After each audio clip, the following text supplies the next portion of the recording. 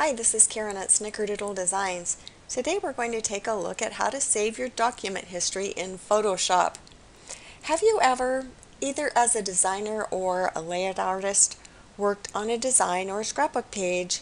You really liked the final result, but then couldn't remember how you achieved it? I know that's happened to me before. Photoshop gives us a history panel to help us in situations like this. There's a lot we can do with the history panel, but today I'd like to just focus on one thing. One thing that's really easy to do, and one thing that I think can be really helpful to all of us. And that is how to save the history state of a document. And here are just a few things you need to know to get started. Let me go ahead and just delete this. If you do not have your history panel open like I do right here, you can go to the top menu bar, go to Window and History, and if you click on that, then this uh, panel will show up over here and you can click on this tab to see what is taking place here. By default, Adobe saves 20 history states in order to save memory. If you would like to have more states uh, saved, you can reset that number by going to Edit, Preferences, and then Performance. And right over here, you can go ahead and hit uh, how change this to however many history states you'd like by clicking on the down pointing arrow. I have mine set at 50 and I do have a lot of memory on my computer and I I don't have any problem um, at 50 states. I'm using Creative Cloud 2015. I know the path is slightly different in CS6, so I'm sure it's going to be different in other programs as well, or other Photoshop versions as well. So just look for the history state. That's, that's what you want to, to find in order to go ahead and change that. Photoshop Elements users, you can set your history states as I have just described, but you will not be offered the option through PSE of actually saving your steps, which is uh, what I will cover in the rest of the tutorial. Before or immediately after opening a document, you need to set up Photoshop to record and save your working steps. And this is how to do that. I have already uh, opened a document and started recording this because I wanted to have these um, layers and history states available to show to you. So I'm going to recreate this, but just know that I have actually already started it. Pretend I have just opened a blank document. I would then go to Edit, Preferences, and history log. And I think this is actually where the difference is in uh, the various versions of Photoshop. Once you click on the history log, you can choose to save your log items either as a metadata file, a text file, or both. And I usually just select both.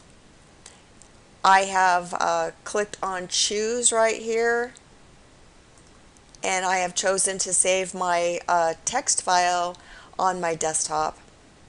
It gives it the default name of Photoshop Edit Log and I have added the dash tutorial because I am using this log for this tutorial. You can rename it whatever you like.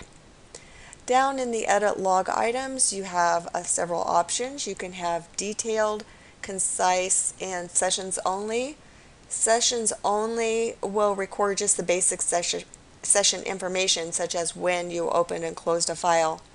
Concise will give you uh, more information on what actions you take, but detailed will give you the most data such as when you open and close files as well as the dates and the times of all the actions that you uh, use. And so I always choose that. I A text file doesn't take up much room and I think it's just easier uh, to have everything that uh, I might potentially need in the future.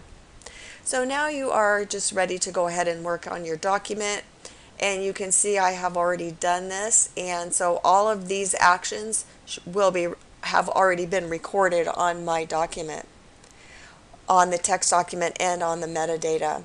you know, let me go back for just a minute. To open a meta, to read the file, if you have saved it as metadata, you will be able to read that in Adobe Bridge. Or if you want to use it to read it in Photoshop, you would go up to um, File and File Information and then is located under this Photoshop right here. And this is all of the information for this layout that I have already been working on. So you can see I opened a new document, I drag some elements over, and it goes all the way through and tells you just everything that I have done here. And if I had saved it in a text file, which I did also, I would just go to my desktop find that text file, double click on it to open it, and it would open up um, in whatever text file program I have on my computer, which for me is Notepad, and I'm sure that most people have that. The Mac um, text notepad, which I would call a notepad, is I think it's called Text Edit. So the, one of the really cool things about this is I can go ahead and close this and reopen it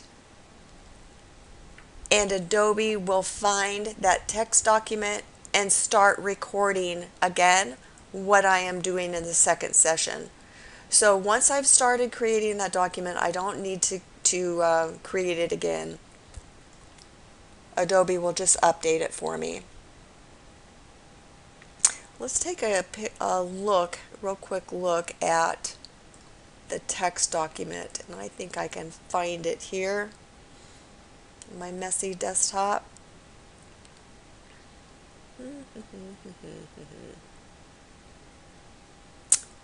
and somebody that's watching this is probably saying, I see it, and I don't see it at the moment, so this is not good. Anybody see it? It's a text document. Here it is, way up at the top of my screen. That's why I didn't see it. So here it is, Photoshop Edit Log Tutorial. I'm going to double click on that. And it opened on my other screen, so let me drag it over here. And you can see that in this text document, these are all the actions that I took, and it's just the same as the metadata that we saw before.